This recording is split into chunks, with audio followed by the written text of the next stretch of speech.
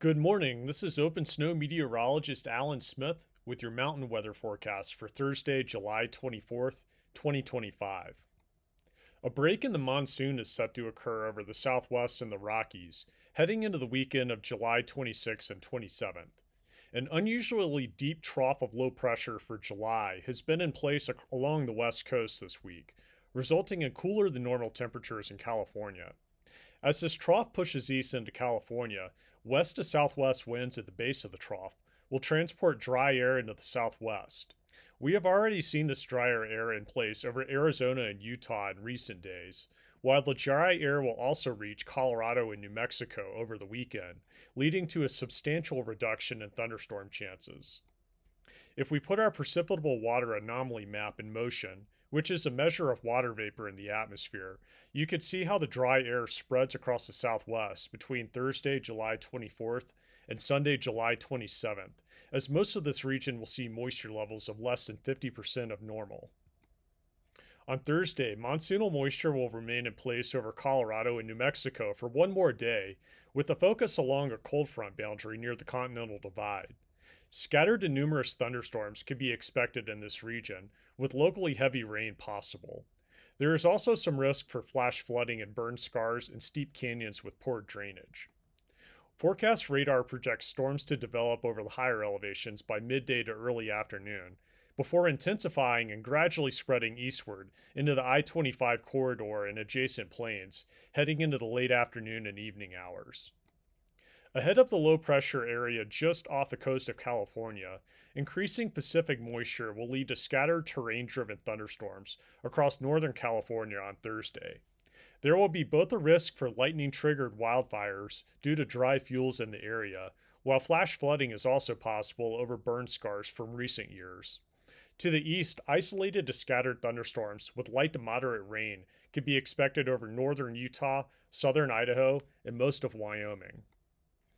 Friday's pattern will feature decreasing moisture over the southwest, while a low pressure area moving into northern California will result in another active thunderstorm day. Once again, this area will see a mix of wet and dry thunderstorms, with the risk of both wildfires and burn scar flooding.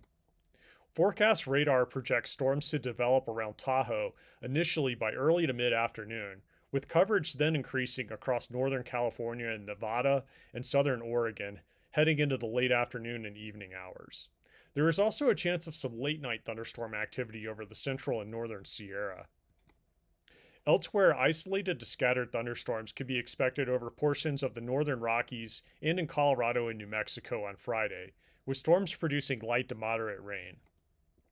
On Saturday, abnormally dry air over Arizona and Utah will spread eastward into Colorado and New Mexico as the monsoon shuts down almost entirely for the weekend.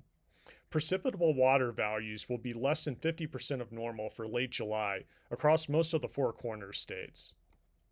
To the north, lingering Pacific moisture will result in isolated to scattered thunderstorms from northern California to the northern Rockies, with most storms producing light to moderate rain.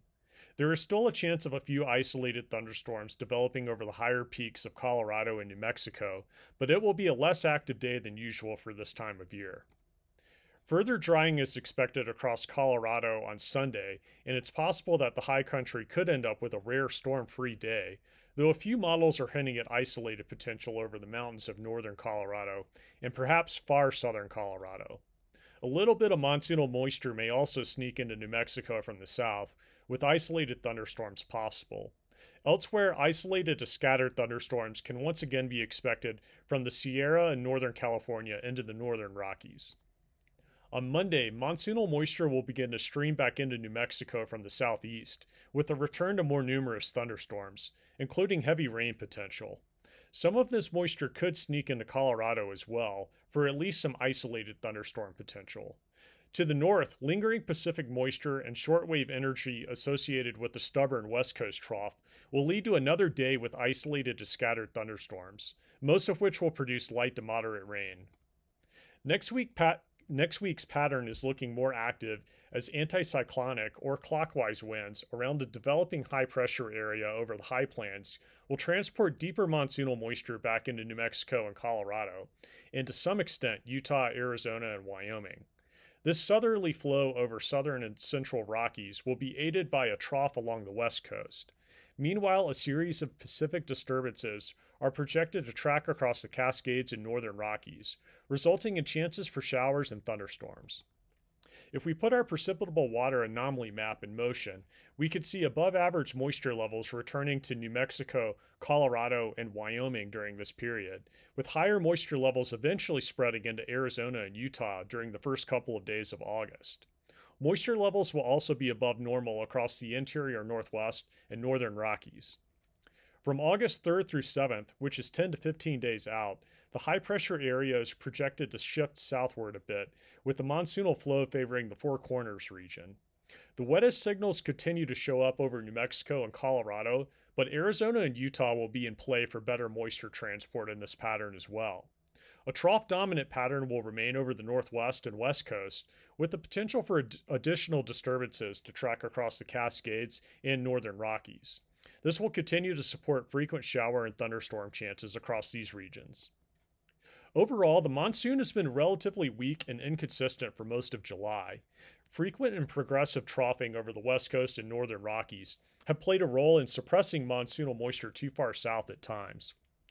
Cooler than normal ocean temperatures along the west coast may continue to support west coast troughing, but if the, if the trough pattern remains centered far enough west, this can help to enhance moisture transport from the southwest, while more progressive troughs can scour moisture out or keep moisture confined to areas further east, such as New Mexico and Colorado.